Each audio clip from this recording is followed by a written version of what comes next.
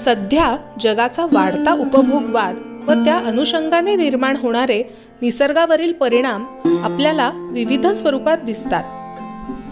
त्यातीलच एक म्हणजे अतिरिक्त कपड्यांचे उत्पादन आणि त्यामुळे निर्माण होणारा कचरा.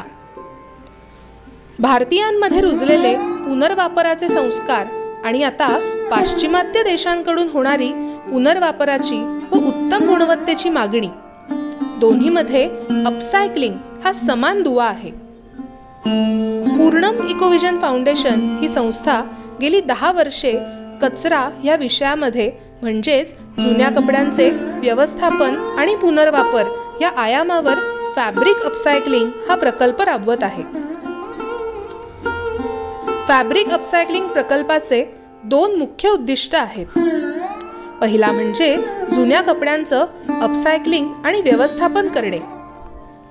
आणि दुसरं म्हणजे या प्रकल्पाद्वारे महिलांचे सक्षमीकरण करणे. प्रोजेक्टच्या अंतर्गत एकशे वीस महिलांना पूर्णमतर्फे जुन्या कपड्यांपासून अपसायकल उत्पादनं बनवण्याचे प्रशिक्षण दिले आहे. याच महिलांच्या मदतीने विविध वस्तू तयार करून या वस्तूंची विक्री केली जाते. ही विक्री मुख्यतः प्रदर्शनं आणि विविध कार्यक्रमांअंतर्गत स्टॉल्स लावून होते. उत्पादनांची मागणी मोठ्या प्रमाणावर घेऊन अन्य गरजू महिलांना प्रशिक्षण देऊन अपसायकल उत्पादनांच्या मोठ्या अथवा बल्क ऑर्डर्स घेण्यास सुरुवात झाली. आत्तापर्यंत शंभरहून अधिक वैविध्यपूर्ण वस्तूंची निर्मिती ह्या उपक्रमाद्वारे झालेली आहे.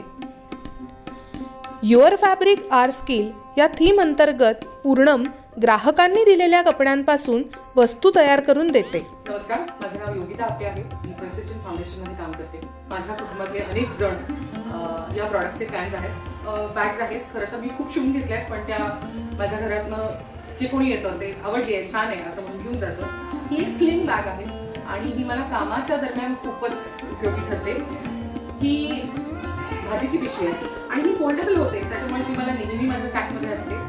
त्या कपड्यांचा इतक्या चांगल्या पद्धतीने ते सगळे करतात. उत्पादनासाठी लागणाऱ्या जुन्या कपड्यांचे संकलन हे कार्य देखील पूर्णम सोसायटी आणि कॉर्पोरेट स्तरावर करते. प्रकल्पाची व्याप्ती वाढण्यासाठी डोर टू डोअर संकलनाची संकल्पना देखील सुरू करण्यात आली आहे. संकलन केलेले कपडे मुख्यतः दोन गटांमध्ये विभागले जातात. वापरण्याजोगे चांगले कपडे वेगळे करून आपण ते सेवादीप व सूर्योदय सारख्या संस्थांना सुपूर्त करतो. जे कपडे पुन्हा वापरण्यासारखे नसतात त्यांचे अपसायकलिंग करून लॅपटॉप कव्हर्स बॅग्स बॅकपॅक विविध प्रकारच्या पर्स तत्सम वस्तूंचे उत्पादन केले जाते. प्रकल्पाची व्याप्ती वाढविण्यासाठी आणि जास्तीत जास्त महिलांना प्रशिक्षण देऊन रोजगार मिळवून देण्यासाठी आर्थिक मदतीची गरज भासते.